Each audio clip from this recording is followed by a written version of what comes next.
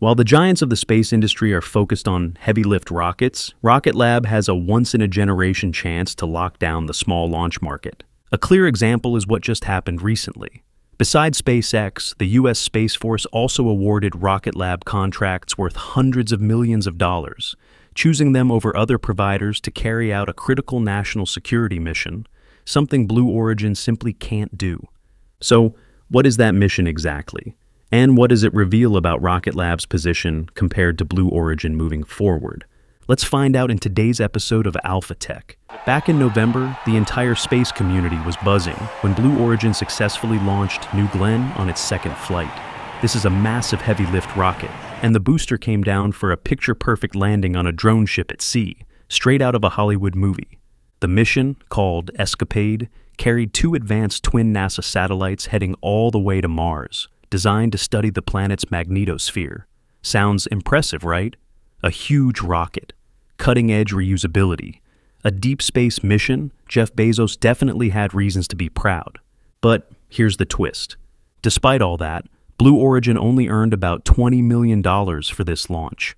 That's a surprisingly modest number for a heavy lift rocket. The reason? This was essentially a discounted flight, with NASA helping fast track New Glenn certification. Now, fast forward to December 18th, 2025. Rocket Lab opened the launch window for Electron, their small, lightweight rocket, launching from Wallops Island, Virginia. This flight was for a U.S. Space Force mission called STPS 30, nicknamed Don't Be Such a Square. The payload? Just four experimental disc DiskSats, flat disc shaped test satellites. No Mars, no deep space, nothing flashy. And yet, this single Electron launch was worth $14.4 million. Let that sink in. A tiny small lift rocket flying a short national security mission earned only 5 to 6 million dollars less than New Glenn's Mars mission. And honestly, that makes sense.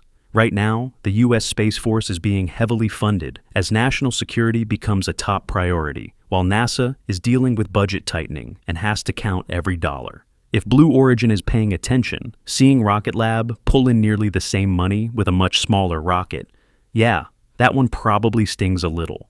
Going a bit deeper into this mission, those flat disc shaped satellites, stacked like pancakes, were developed by the Aerospace Corporation, with funding support from NASA. These DiskSats are a pretty unconventional design. Each one is about one meter in diameter, thin and wide, giving them plenty of surface area for solar panels and antennas. Thanks to their shape, they experience lower atmospheric drag, which makes them ideal for operating long term in very low Earth orbit, or VLEO, below 300 kilometers, without rapidly losing altitude.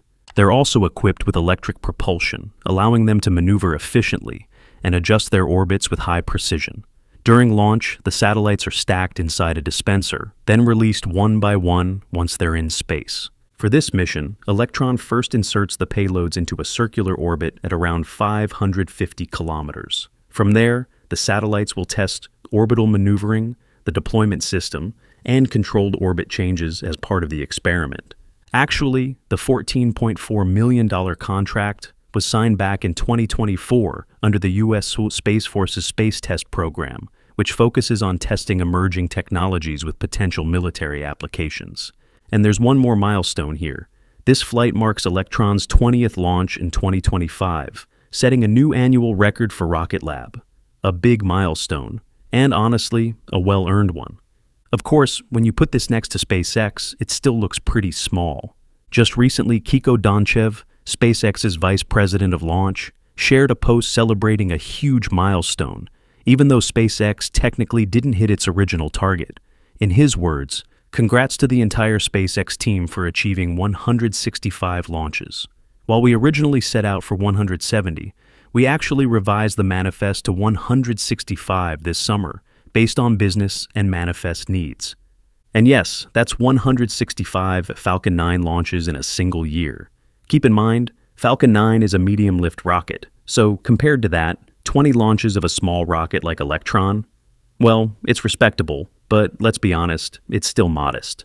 That said, it's still more than Blue Origin. Even though Blue Origin has two rockets, New Shepard and New Glenn, they still haven't launched a single satellite for themselves. However, they are on the verge of a very meaningful milestone. Blue Origin is preparing for NS 37, a new Shepard mission that could make history as the first spaceflight carrying a person in a wheelchair. The launch is scheduled for December 19, 2025, with an official target of December 18th, though it may slip to net due to weather. The launch window opens around 8:30 a.m. CST. The person making history is Michaela Michi Benthaus, a German aerospace engineer working at the European Space Agency. After a spinal cord injury from a mountain biking accident in 2018, she's been using a wheelchair ever since, but she never gave up on space. She's also been a strong advocate for accessibility in aerospace. The flight will last about 11 minutes, with a few minutes of weightlessness and a beautiful view of Earth. If all goes as planned, Michi will become the first wheelchair user to reach the edge of space. So, yeah, Blue Origin still can't launch a satellite for itself, but at least they're about to check off a different kind of milestone. Not orbital, not operational, not revenue generating, but historic in its own way.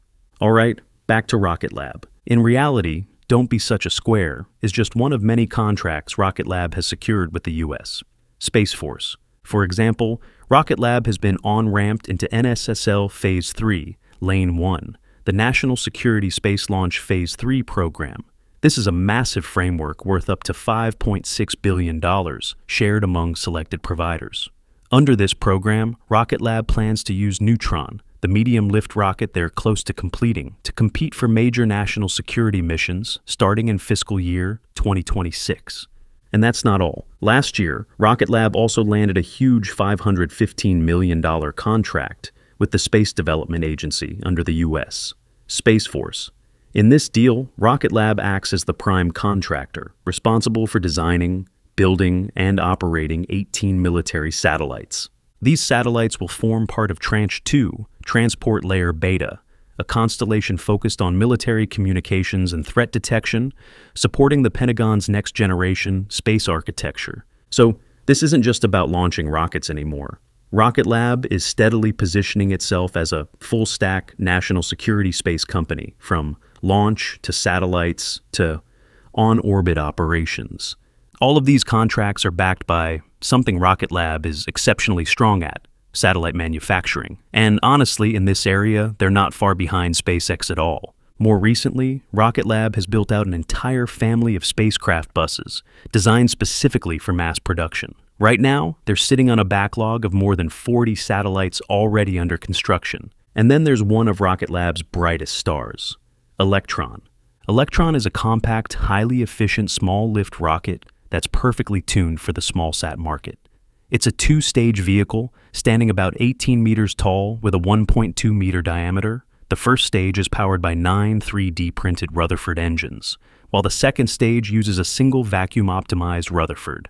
Electron can deliver up to around 300 kilograms to low Earth orbit with extremely precise orbital insertion. And that precision is exactly why customers keep coming back.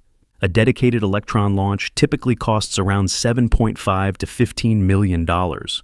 Sure, that's more expensive than SpaceX's rideshare missions, but in return, customers get something Falcon 9 just can't offer. Their own orbit, flexible launch timing, and no waiting around or sharing risk with dozens of other payloads like on a transporter mission. Compared to the big players, Electron really stands out in responsiveness. That means fast launches, short turnaround times, sometimes just days between flights, and a fully dedicated mission profile. And that's exactly what the military wants right now, especially for rapid tech demonstrations or urgent deployments, which the Space Force is heavily pushing.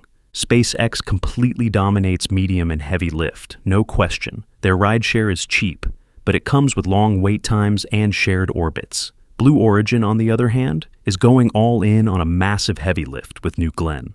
Using that to launch small sats would be pure overkill, and they still don't offer a regular lightweight rideshare service anyway.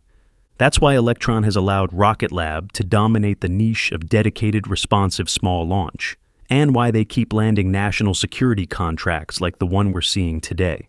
While Rocket Lab's future is starting to look pretty bright, the outlook for Blue Origin in the heavy lift launch market is shaping up to be a far tougher fight, and that fight is directly against SpaceX.